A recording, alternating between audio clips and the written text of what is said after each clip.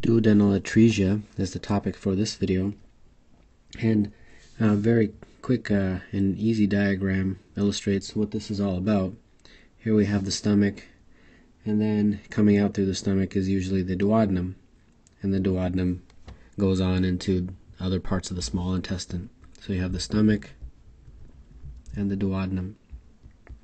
Now, atresia, the word atresia, essentially means a complete blockage. So instead of there being a stenosis, a narrowing, there will be like a complete blockage, uh, like that, and then the bowel goes on from there.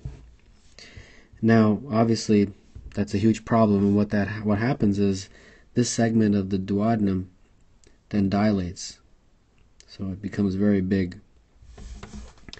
So this will be characteristic on radiographic findings.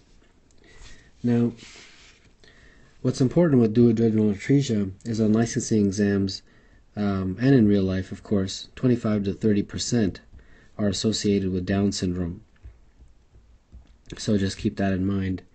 They'll uh, definitely put that in some licensing exam question. So, what are the symptoms? Well, before the baby is even born, you'll see something characteristic on a uh, um, uterine uh, ultrasound and that's something called polyhydramnios. Now, what is that? That's basically incre increased amniotic fluid. Now, why is this associated with uh, duodenal atresia? The reason is because the fetus uh, normally um, swallows some of the amniotic fluid, and in duodenal atresia, the fetus is unable to swallow the amniotic fluid so the amniotic fluid in the sac is increased um, as a result. Interestingly, just as an aside, there is a condition that leads to oligohydramnios. Uh, that's basically the opposite, where you have very low level of uh, uh, amniotic fluid, and that's renal agenesis. I wanted to mention that if the fetus kidneys have not been developed, the kidneys uh, normally contribute to the amniotic fluid uh, urine, and because the urine is not there, um, that will definitely uh, be a reason for having low amount of uh, amniotic fluid. So, now what are the, some of the symptoms after the fetus is born? Well, there will definitely be feeding difficulties. Um, the baby essentially doesn't have uh, a passageway to get the food down into the small intestine and there will be uh, vomiting as well. And this uh, emesis will be bilious. It will be with bile. Now, how do you diagnose this? And by far, the diagnosis is the most important uh, aspect of the licensing exam questions. And what you'll see on a radiograph, on an x ray, is you'll see if this is the abdomen, um, you will see two distinct circles and one is of course the stomach, and one is the duodenum. And these are two uh, lucencies, radiographic lucencies, are the classic telltale sign of duodenal atresia. And there's a special name given to this. It's called a, a double bubble sign and for obvious reasons. And I encourage you to look that up online to see what an abdominal x ray looks like um, for a patient with duodenal atresia. And uh, this is uh, the definitive treat treatment is surgical. You have to surgically uh, go in and correct the atresia and create a, a lumen so that there can be a passageway.